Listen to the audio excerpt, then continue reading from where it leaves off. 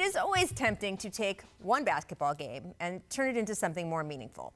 One team blows another out, and the victors are suddenly tagged as dangerous contenders, while the losers are basically told they might as well all quit the NBA and start a knitting club.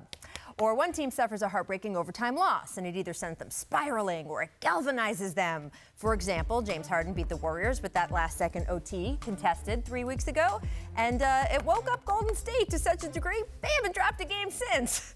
of course, sometimes a game is just a game, one of 82, and we don't know for a while which category last night's Lakers Thunder game fits into. But boy, it sure felt like something. Russell Westbrook got the internet involved early when he brought his son Noah, who is about a year and a half old, onto the court with him before warm-ups. This video quickly went viral, which I mean, clearly, so cute. And um, once the game started, the Thunder seemed to be on just as much of a roll as young Noah, racking up a 17-point lead just 10 minutes in. The Lakers, meanwhile, a disaster. They turned the ball over like they were allergic to it.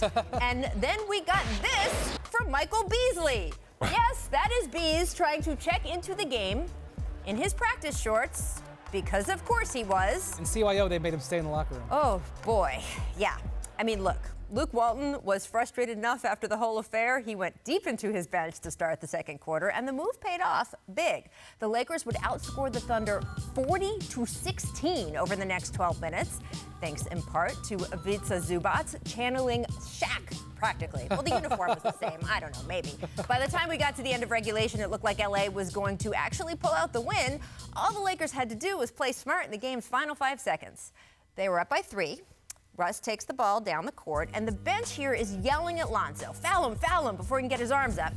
And Lonzo tried, but when the whistle came, the ref's ruling was that Westbrook had been in the act of shooting. So Russ goes, to, yeah, Luke, not happy. Russ goes to the line, and despite he's going through one of the worst shooting slumps of his career, actually nails all three foul shots. He was so and, and relieved. look at his face. Yep. He was mhm. so relieved. right? Shooters Amazing. make shots. LeBron James, meanwhile, not on this road trip because of his groin injury, but he was upset enough. He took to Twitter asking the NBA's official refs account, so what really is the in the shooting motion rule? Asking for a friend. Now, now, this is where I will note that the league's officials announced recently they actually will be taking Twitter questions during high profile games. Uh, unfortunately for LeBron, they're not going to start doing that until next week, so he got no response online.